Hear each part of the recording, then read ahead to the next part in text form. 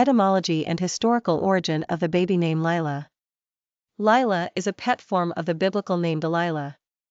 The name Delilah has Hebrew origins, from the name Lila meaning one who weakens. Not the most positive meaning, we get it.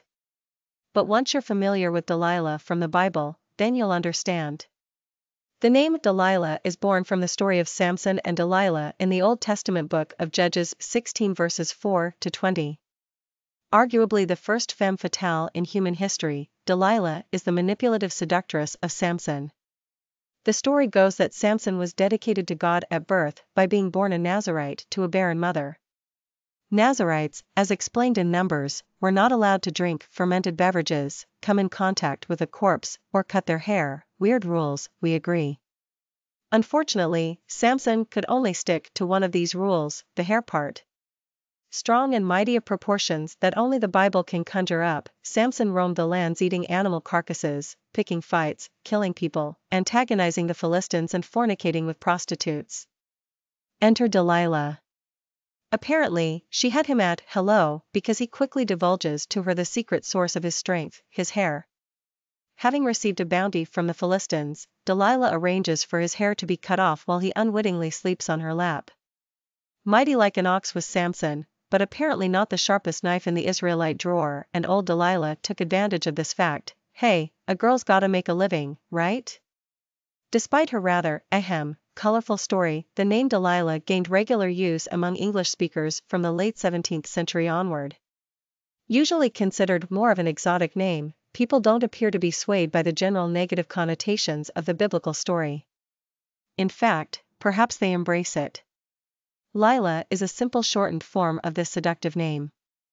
Personality of the girl named Lilah.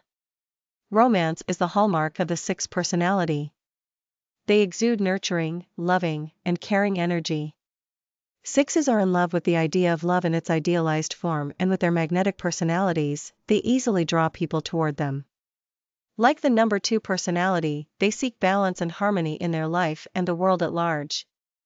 They are conscientious and service oriented, and a champion for the underdog. These personalities naturally attract money and are usually surrounded by lovely material objects, but their human relationships are always primary.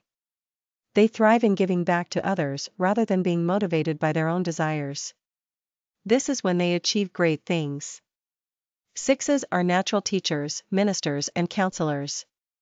Popularity of the girl named Lilah. Lilah was in use in America back in the late 1880s and into the early part of the 20th century. However, she would disappear from the charts for about 100 years, not to re-emerge until 2006. Lilah has since climbed up to moderate levels of popularity today. Lila like names, Lila, Lila, H, Layla, etc., have really caught the eye of American parents in the 21st century. A little different than the ever trendy Lily, Leah, or Lucy, for instance. Lilah is a livelier alternative to her more popular sisters, and the H on the end connects the name to Delilah. It's a cute, happy, bouncy name with an old fashioned twist. And yet Lilah has a certain charming elegance at the same time. A darling choice for any lucky little girl. Quick facts on Lilah. Gender, girl. Origin, English. Number of syllables, 2. Ranking popularity, 307. Pronunciation, Lilah.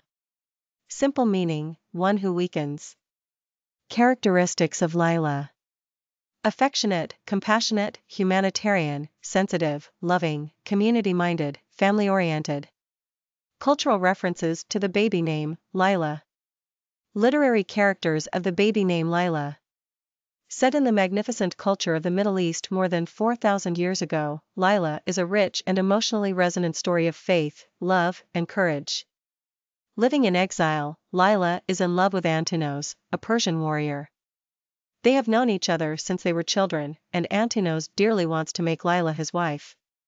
Yet Lilah does not feel she can marry without the blessing of her brother, Ezra. She and Ezra are close, and Lilah knows her brother well, he does not want his sister to have a husband outside their faith. Ezra is a scholar of the laws of Moses, and Lilah believes it is her brother's destiny to lead the Jewish people back to the promised land. While Antinos pressures her to accept his proposal, Lila realizes that before she can consider her own happiness, it is her duty to help her brother accomplish the seemingly impossible task that is before him. Putting herself in grave danger, and with the help of Antinos, Lilah wins Ezra an audience with Artaxerxes, II, the king of kings, who grants permission to lead the exiles on their journey back to the promised land. After a hazardous trip across the desert, Lilah, Ezra, and the thousands who join them arrive in Jerusalem. But the hardship of rebuilding the temple takes its toll, and the religious